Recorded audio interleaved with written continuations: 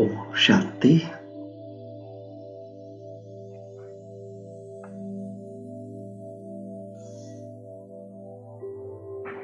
जैसे कल हम सभी ने राइट टाइम पर राइट व्यवहार करने के ऊपर क्लास की। आज हम क्लास करेंगे। यथार्थ याद क्या है? आज की क्लास का टाइटल ये रहेगा। इसी को लेके सोचना है। बाबा ने अभी भी फीलिंग्स में दी है कि बच्चे अगर याद ही यथार्थ नहीं है तो प्राप्ति यथार्थ कैसे होगी? मुझे चेक करना है। मैं भगवान को याद करती हूँ या मैं फरियाद करती हूँ।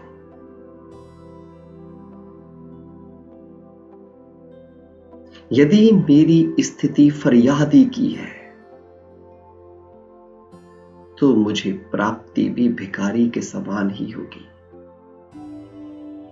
क्योंकि मांगने वाले को तो भिक्षा ही मिलती है। अधिकार नहीं मेथड राइट है, यथार्थ याद की पहली पहचान लिख लो आप अपने पास। याद यथार्थ है तो प्राप्ति एक्यूरेट होगी। प्राप्ति भी यथार्थ होगी। वही प्राप्ति होगी जिसका संकल्प किया है। और यदि प्राप्ति यथार्थ नहीं है तो हमेशा याद रखो, जो बाबा कहते मुरलियों में हमें, विधि नहीं तो सिद्धि भी नहीं।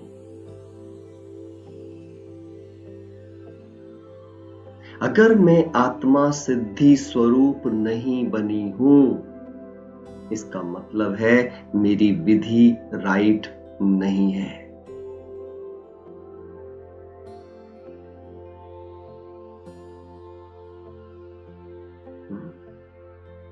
तो कैसे कैसे पहचानेंगे कि मेरी याद एक्यूरेट है या नहीं?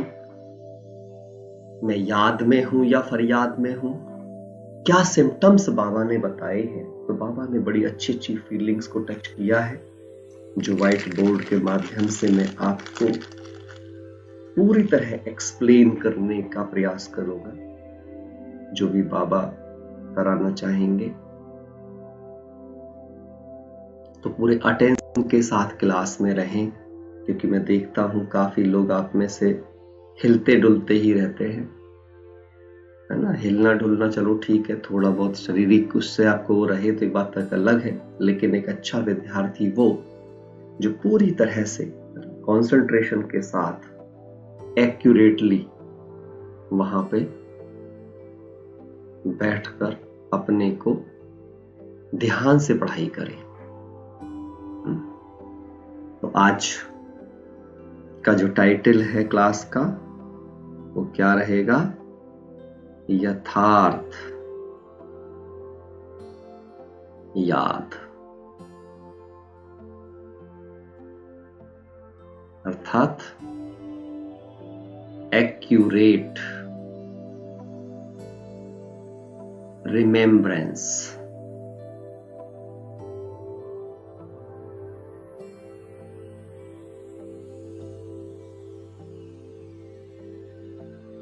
एक्यूरेट हम एक्यूरेट दुनिया में जाने वाले गीता में भी कहा है, हे अर्जुन, मुझे पूरा वही प्राप्त करते हैं, जो मुझे यथार्थ पहचानते हैं।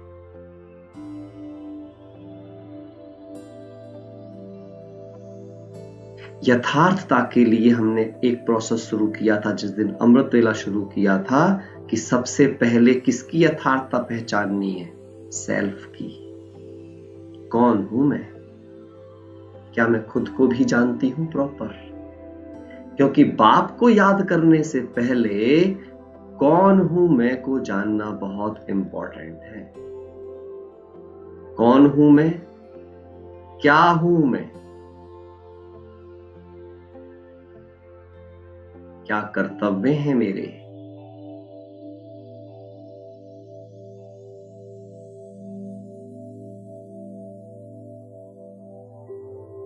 किसके साथ रिश्ते हैं मेरे? ये अपनी कंप्लीट पहचान किसके साथ क्या रिश्ता है?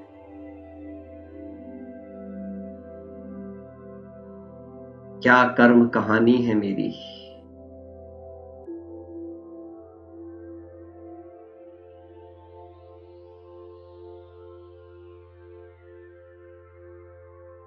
कहाँ से आई हूँ मैं?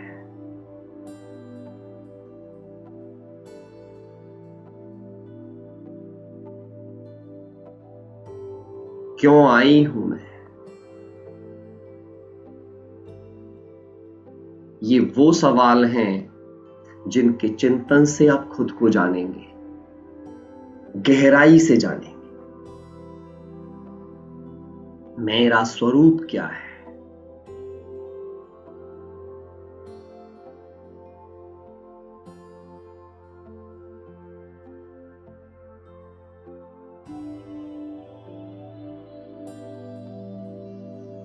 अपने विषय में हम जितना जानेंगे तो मेरी ज़रूरत की चीज़ें कहाँ मिलती हैं, तब मैं उन दुकानों को खोजूँगा, उन स्थानों को खोजूँगा।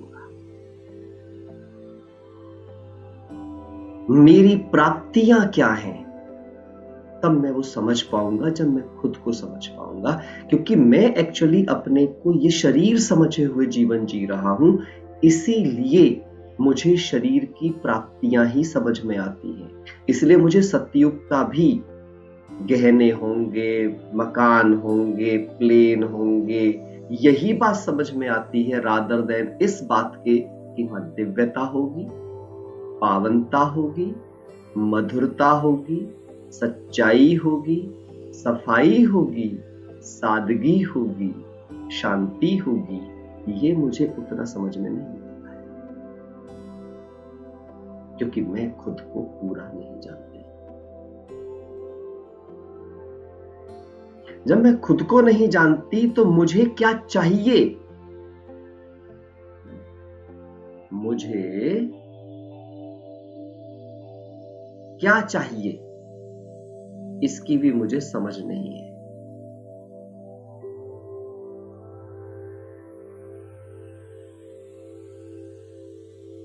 मुझे क्या मांगना है, क्या नहीं मांगना है? और बिन मांगे मोती मिले, मांगे मिले न भीख, इसका एक्यूरेट अर्थ क्या है? क्या मुझ आत्मा को सच में कुछ भी मांगने की आवश्यकता भी है? या मुझे ऑटोमेटिक मिलेगा? जैसे फ़ोन को चार्जर के साथ सोर्स से कनेक्ट कर स्विच ऑन करते ही फ़ोन को कहना नहीं पड़ता कि मुझे चार्ज करो। जैसे गैस ऑन करके पानी को उसके ऊपर रख देने से बर्तन में पानी को कहना नहीं पड़ता कि मुझे गर्म करो। जो आग का नेचुरल गुण है, वो उसके अंदर आ जाएगा। धूप में बैठने के बाद आपको यह कहना नहीं पड़ता कि हे सूर्य, मुझे गर्माहट महसूस कराओ। पानी पीकर आपको पानी से कहना नहीं पड़ता कि हे पानी, मेरी प्यास मिटाओ। खाना खाकर खाने से आपको ये कहना नहीं पड़ता कि हे भोजन, मेरी भूख मिटाओ। समझिए इस बात को। ये ये साधारण बातें हैं, आपको लगेगा तो रोज हम भी जानते हैं। हम जानते हैं या हम महसूस करते हैं। ये फ़र्क है।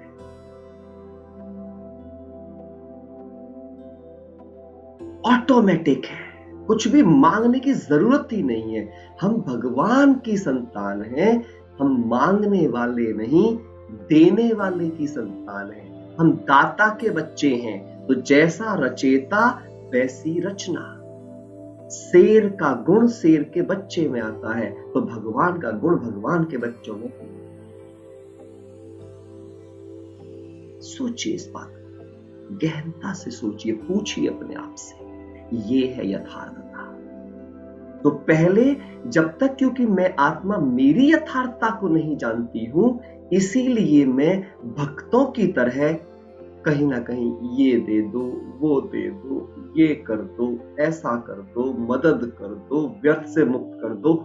हम इंतज़ार कर रहे हैं कि कोई आएगा हमें व्यर्थ से मुक्त करेगा। और बाबा ने कह दिया है, कोई नहीं आएगा आपको व्यर्थ से मुक्त करने के लिए।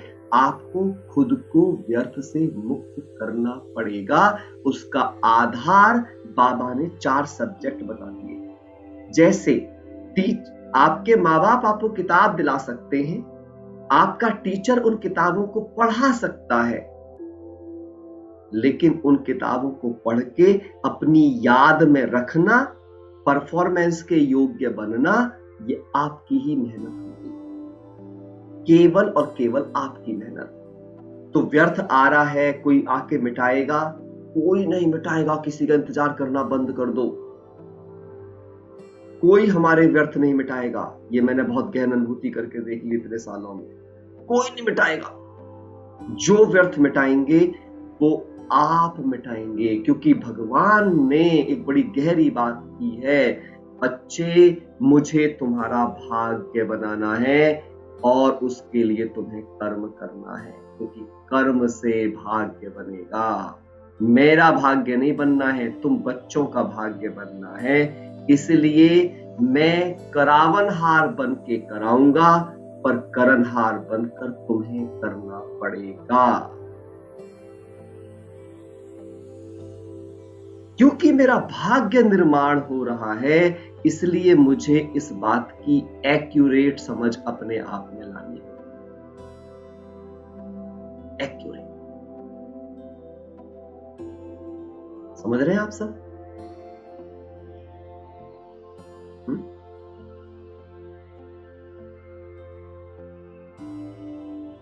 एक्यूरेट हम्म? ये समझना है।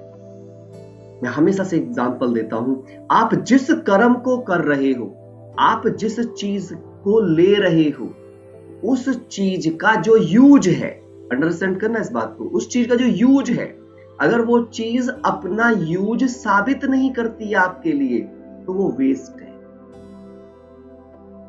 आपने छाता लिया, लेकिन वो आपको बारिश से नहीं बचाता है तो वो छाता वेस्ट है। आपने गाड़ी खरीदी, लेकिन वो चल नहीं रही है आपको की मंजिल पर ले जा रही है, वो वेस्ट है।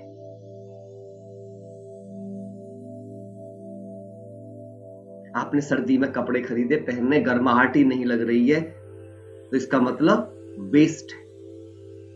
जो भी चीज़ जिस पर्पज के लिए ली जाती है, यदि वो वो पर्पज पूरा नहीं कर रही है, वो वेस्ट है। उसके वेस्ट होने में भी दो चीज़ें इंपॉर्टेंट हैं। ध्यान से समझना। पहली चीज़, क्या वो चीज़ वेस्ट है या मुझे उसका प्रयोग नहीं आता है?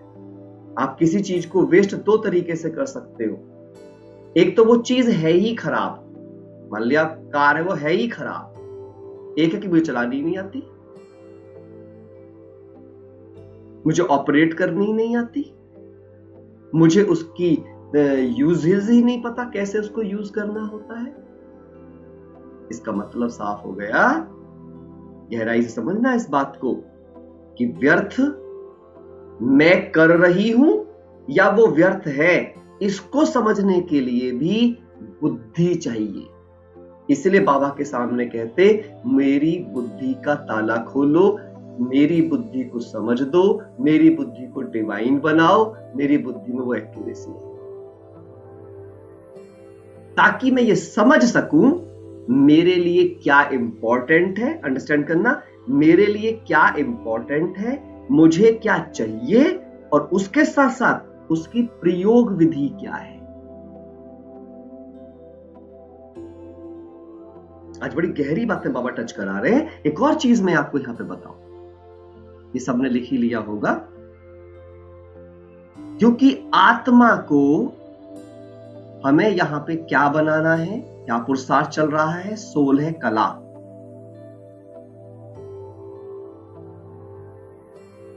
और ध्यान रखना, कोई भी चीज़ कला, आर्ट तब बनती है, यानी कि वो चीज़ आर्ट तब कहलाती है, जब उसके प्रयोग में आप नेचुरल हो एक्यूरेट हो।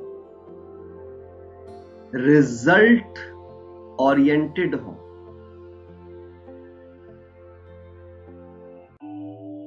और सबसे खूबसूरत बात, इन तीनों चीज़ों के साथ साथ कला जो होती है, वो एक सबसे बड़ी चीज़ देती है, खुशी और सुख।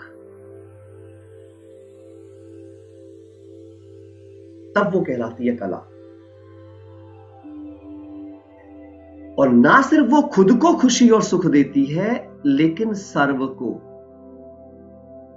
इसके लिए बाबा ने अव्यक्त वाणियों में खास बात कही है। यदि आपके अंदर कर्म करने की सही कला होगी तो आपका कर्म, बहुत इंपॉर्टेंट बात है ये, आपका कर्म आपको, साथियों को और जिनके लिए किया गया है और जिनके लिए कर्म किया गया है।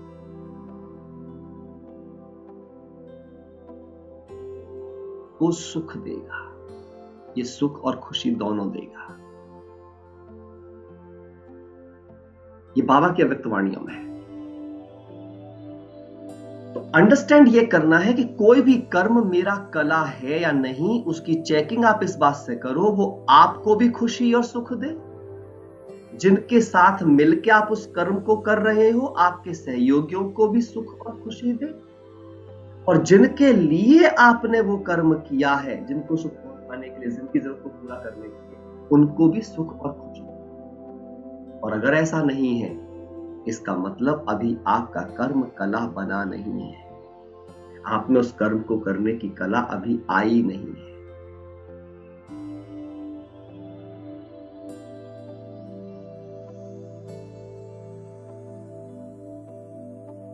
एक्यूरेसी तो सबसे इंपॉर्टेंट बात, अब सवाल एक और है। दो बातें ध्यान से समझना बात। एक है जो हमने यहाँ पे लिखा कला शब्द क्योंकि मुझे कलावान बनना है, बोले कला बनना है। बनना किसको है? कला चाहिए किसको? आत्मा। आत्मा को अपनी कलाएँ जागृत करनी है। लेकिन ये कलाएँ देने वाला कौन है? इन कलाओं का दाता कौन है? वो है परमात्मा। क्योंकि वही उनका शिक्षक है। उसी को उनका संपूर्ण ज्ञान है। तो मुझे क्या क्या चीज़ पता होनी चाहिए यथार्थता के लिए? कब मेरी याद यथार्थ होगी? जब मुझे यह पता होगा कि ये मेरा लक्ष्य क्या है। कला मेरा लक्ष्य है, कलावान बनना। बहुत ध्यान समझना, बड़ी ही गहरी सी ये एक वो चीज़ है। मुझे कलावान बनना है। अब कलावान बनने के लिए मुझ आत्मा को क्या चीज़ चाहिए? सर्व गुण चाहिए प्लस सर्व शक्तियाँ चाहिए। ये सदा मेरे इमर्ज रहे हैं। मुझमें ही। मैं वो हिरन हूँ जिसकी कस्तूरी उसकी नाभि में है। बस उसे पता नहीं है। तो मुझे इनको रियलाइज़ करना है कि ये गुण मेरे ही हैं, ये शक्तियाँ मेरी ही हैं। लेकिन ये सदा इमर्ज कब रह पाएँगी? जब मैं आत्मा, परमात्मा, पिता के साथ कंबाइंड रहूँगी। यहाँ मुझे चाहिए ये कंबाइंड स्टेज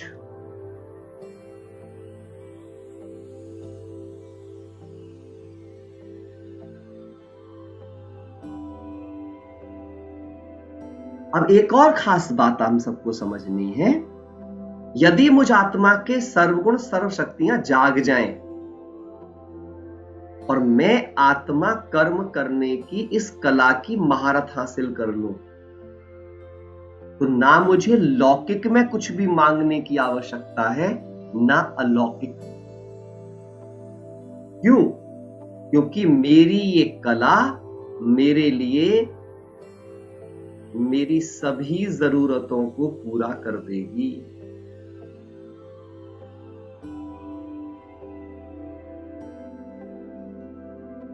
लौकिक हो या अलौकिक? पूरा कर देगी ये समझना इंपॉर्टेंट है। और यहाँ एक ही कला की बात नहीं कर रहे हम सोलह कलाओं की बात कर यही कारण होता है कि सत्युग में हमारी सभी जरूरतें, सभी आवश्यकताएँ हाईएस्ट और होलीएस्ट तरीके से नेचुरली पूरी होती हैं, क्योंकि हम में सोलह कलाएँ डेवलप हो चुकी होती आप सोचेंगे, ये सब कुछ क्यों बता रहा हूँ मैं, यथार्थ हूँ। क्योंकि अगर मुझे लगता है, क्या लगता है अब? यदि मुझे लगता है कि मैं यहाँ पर हूँ और मेरी याद यथार्थ है। बिंदु से बिंदु की याद मेरी यथार्थ चल रही। है मुझे मेरा घर और मेरा बाप यथार्थ याद है। तो चेक करो, क्या मैं कलावान बन रही हूँ?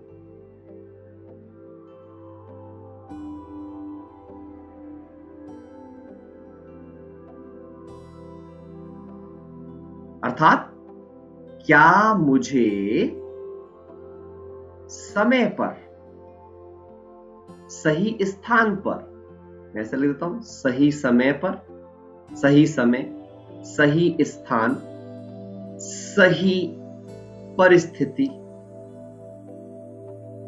में आवश्यक गुण, शक्ति, कला प्रयोग करना आता है। प्रयोग करना आता है। अगर यह नहीं हो रहा है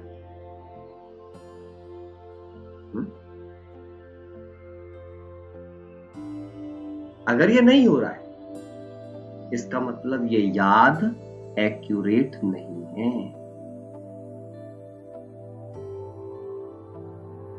क्यों? बाबा ने क्या कहा है?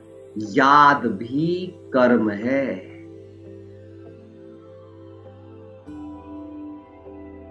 और कर्म की खास बात होती है प्राप्ति। अगर कर्म से प्राप्ति नहीं हो रही है तो कर्म व्यर्थ के खाते में जा रहा है, अगर प्राप्ति नहीं है तो।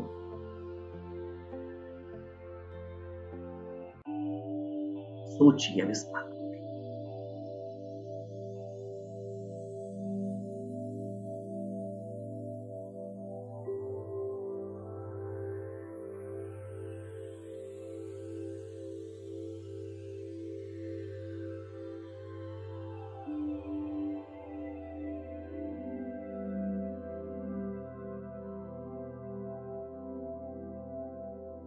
याद रखना, यथार्थ याद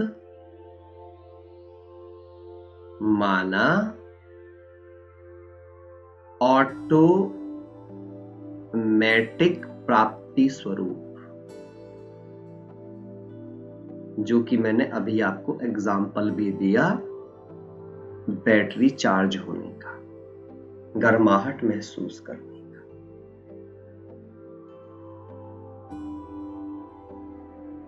और एक बात और। जब याद एक्यूरेट हो जाएगी, इंतज़ार समाप्त हो जाएगा। इंतज़ार करने की आदत खत्म।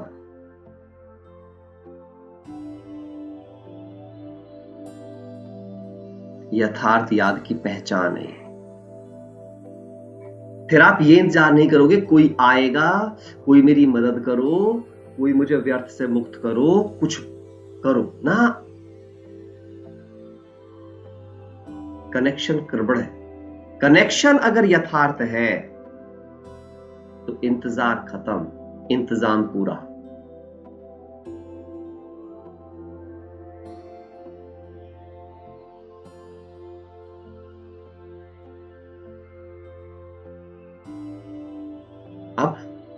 इसकी शुरुआत करने का एक तरीका। कैसे याद नेचुरल फॉर्मेट पे जाती है? याद को नेचुरल कैसे बनाए?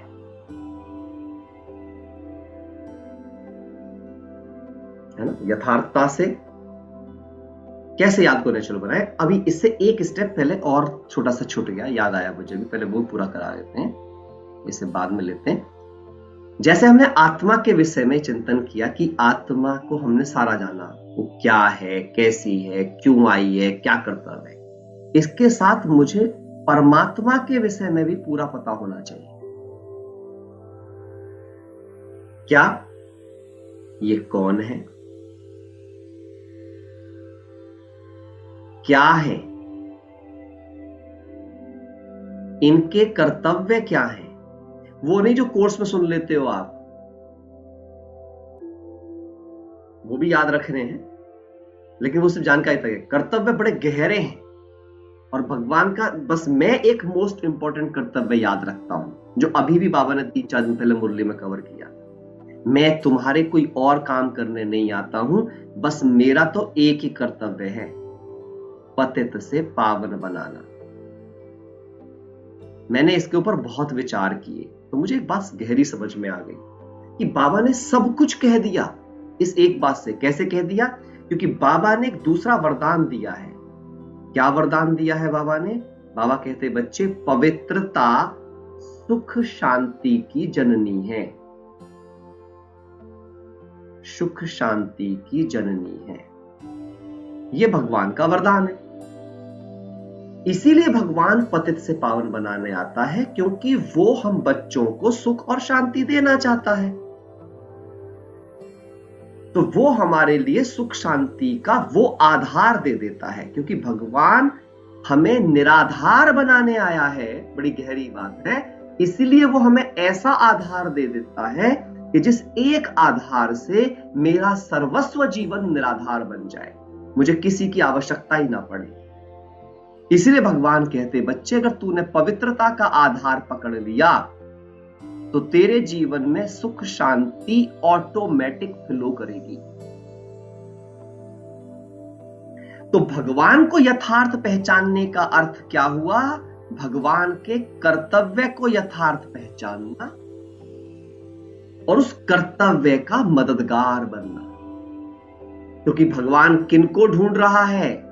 भगवान खुदाई खिदमतगारों को ढूंढ रहा है। अंडरस्टैंड करना इस बात को आप गहराई से। इन्हें ढूंढ रहा है भगवान। भगवान क्या कहता है? मेरे सच्चे खिदमतगार वो बच्चे हैं जो पवित्रता के साथ जीवन जीते हुए पवित्रता की प्रेरणा बन जाते हैं। पवित्रता की प्रेरणा बन।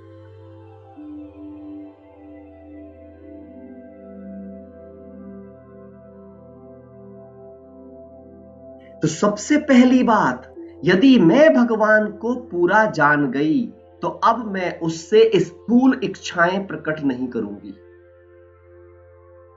क्योंकि उसने साफ़ कहा है ना मैं मरे को ज़िंदा करने आता हूँ, ना मैं बीमारों को ठीक करने आता हूँ, ना मैं तुम्हारे धंधे देखने आता हूँ, ना मैं तुम्हारे रिश्तों को, संबंधों को देखने आता हूँ। मैं तो तुमसे आते ही कहा, सारे संबंध मुझसे निभाओ।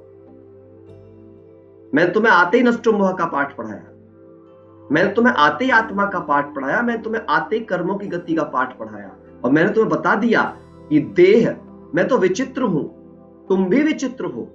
मैं तो तुम्हें सत्य समझाने आया हूँ, क्योंकि मैं सत्यम शिवम सुंदरम हूँ, गहरी बात। मैं तुम्हें झूठी दुनिया से निकालने आया हूँ, मैं झूठी माया से निकालने आया हूँ तो मैं यहाँ का मैनेजमेंट ठीक करने नहीं आया हूँ। मैं तुम्हें तुम्हारा सच्चा मैनेजमेंट सिखाकर सत्यु की दुनिया में ले जाने आया तुमने मुझे कलयुग को ठीक करने के लिए नहीं बुलाया बुलाया है। तुमने मुझे सत्यु की दुनिया को स्थापना करने के लिए बुलाया है। सुख की दुनिया के लिए बुलाया दुख की दुनिया में थेगड़ी लगाने नहीं आया हूँ मैं। उसके लिए तो मैंने धर्म स्थापक भेज दिए थे। उसके लिए तो मैंने महात्मा भेज दिए थे। गुरु भेज दिए थे। शास्त्र थे यहाँ पर। जैसे थेगड़ियाँ लग रही थी, संभला हुआ था। मैं तो परिवर्तन करने आया हूँ, नया करने आया अंडरस्टैंड करें, ये समझना, भगवान के थॉट प्रोसेस को समझना कि भगवान एग्जैक्टली exactly क्या करने आया है, उसके मन में क्या चल रहा है। मैं अपना मन भगवान पे थोप रहा हूँ या भगवान के मन को मैं समझ के जीवन जी रहा हूँ। That's very very very very important और जब मुझ आत्मा को, मुझ आत्मा के कर्तव्य और परमात्मा के कर्तव्यों की समझ आ जाएगी, उसके बाद जो हमारी कनेक्टिविटी होगी, वो होगी यथार्थ connectivity accurate connection accurate connection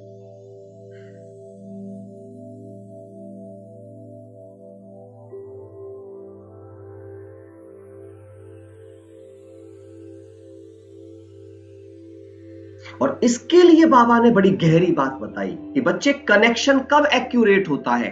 किसी भी कनेक्शन की एक्यूरेसी किस बात पर डिपेंड करती है? तो बाबा ने इस बात के लिए एक गहरी चीज़ बताई है। एक ही चीज़ है वो, जिससे कनेक्शंस गहरे होते हैं, जिससे रिश्तों में गहराई आती है, जिस शब्द का नाम ही है फीलिंग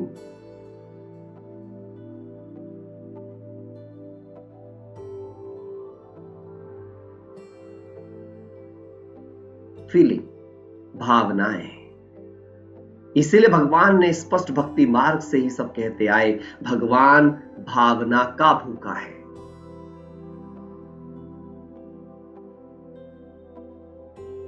आप चेक करना, जिस चीज़ में आपका भाव जाता है, जहाँ आपकी भावनाएँ जुड़ी होती हैं, भावनाएँ जुड़ी होती हैं। ऐसा कह लो, जहाँ आप भावनाओं से जुड़े होते हैं, जहाँ आप गहरी भावनाओं से जुड़े होते हैं।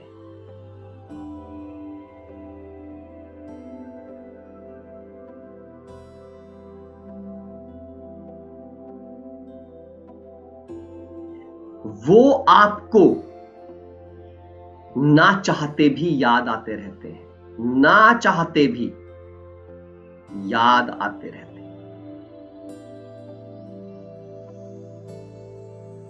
उन्हें याद करना नहीं पड़ता आपको, लेकिन वो याद आते रहते हैं।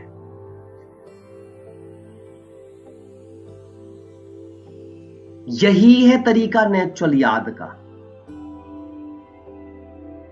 इसका मतलब इंपॉर्टेंट क्या चीज़ हो गया? मेरा एक ही लक्ष्य है कि मुझे यह देखना है अभी मेरे भाव और भावनाएँ किन के साथ हैं? अभी कहाँ है? किन के साथ है?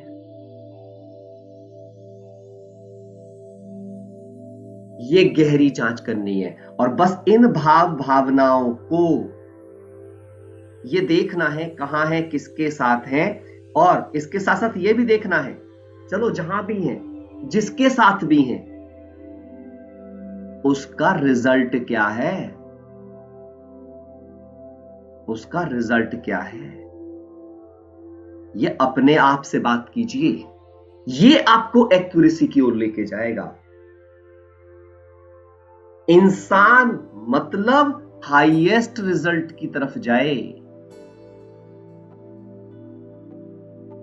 गीता में जो कहा गया, हे अर्जुन, तू कर्म कर, फल की इच्छा मत कर का अर्थ ये नहीं था कि तुझे फल की इच्छा करने का अर्थ वहाँ पर यह था कि कर्म की क्वालिटी पर ध्यान दे तो फल तो ऑटोमेटिक है।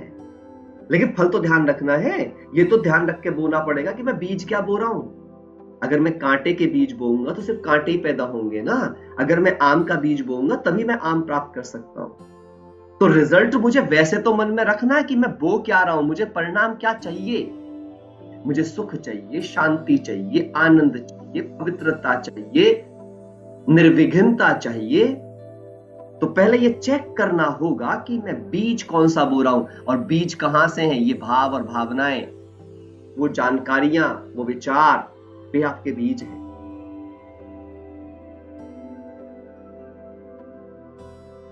अंडरस्टैंड करना।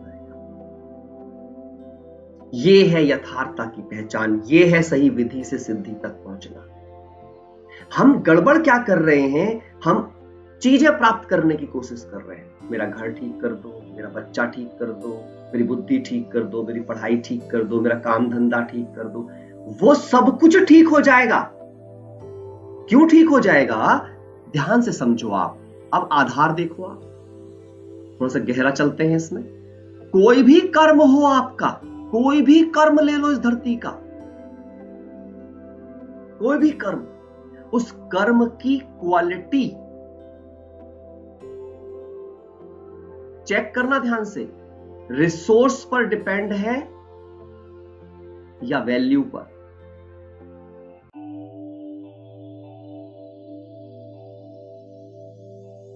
सौ प्रतिशत आपका आंसर होगा वैल्यू पर।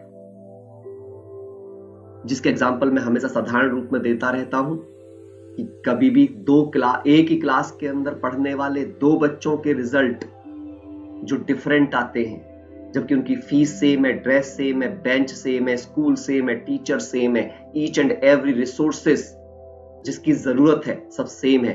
बट रिज़ल्ट में अंतर है, उसका एकमात्र कारण है गुण और संस्कार।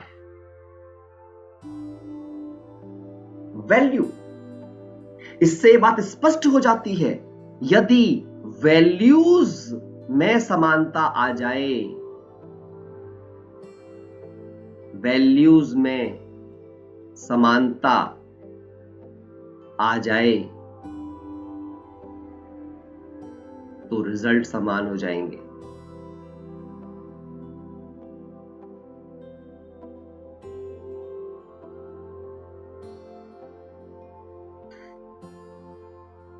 जैसे किसी दुकान पे जाओ, दो ड्रेसेस हैं सेम प्राइस की हैं। एक बंदे ने वो प्राइस पे किया ड्रेस ले ली। आपको भी वही ड्रेस वही कलर वही सब कुछ चाहिए तो सेम वैल्यू पे करनी पड़ेगी सेम वैल्यू आप भी वही वैल्यू पे करके वही ड्रेस एंजॉय कर सकते हो। यही समझना है। फिर चाहे वो किसी ड्रेस की बात चल रही हो, किसी अचीवमेंट की बात चल रही हो, किसी भी कर्म की सफलता की बात चल रही हो, कुछ भी बात चल रही हो वैल्यू को सेम करना तो कॉमन सेंस की बात है, मुझे चीज़ की डिमांड करनी चाहिए या वैल्यू का इंतज़ाम करना चाहिए?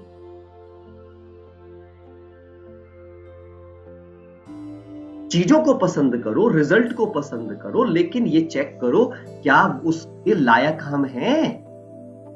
इसलिए कहा जाता है, लायक बनिए डिजर्विंग बनिए डिजायरस नहीं। इसलिए भगवान ने पाठ पढ़ाया है, इच्छा मात्रम अवध्या का। लेकिन भगवान ने दूसरा पाठ पढ़ाया है कि पुरुषार्थी किसी भी इच्छा को पूरा कर सकता है। मतलब डिजर्विंग की सभी डिजायर्स पूरी हो जाती हैं, उसे इच्छा करनी नहीं पड़ती। तो सिद्धांत कहता है, लायक बनो, इच्छुक नहीं। लिख लो इस सेंटेंस को बड़ा बड़ा करके, लायक बनो। इच्छुक नहीं।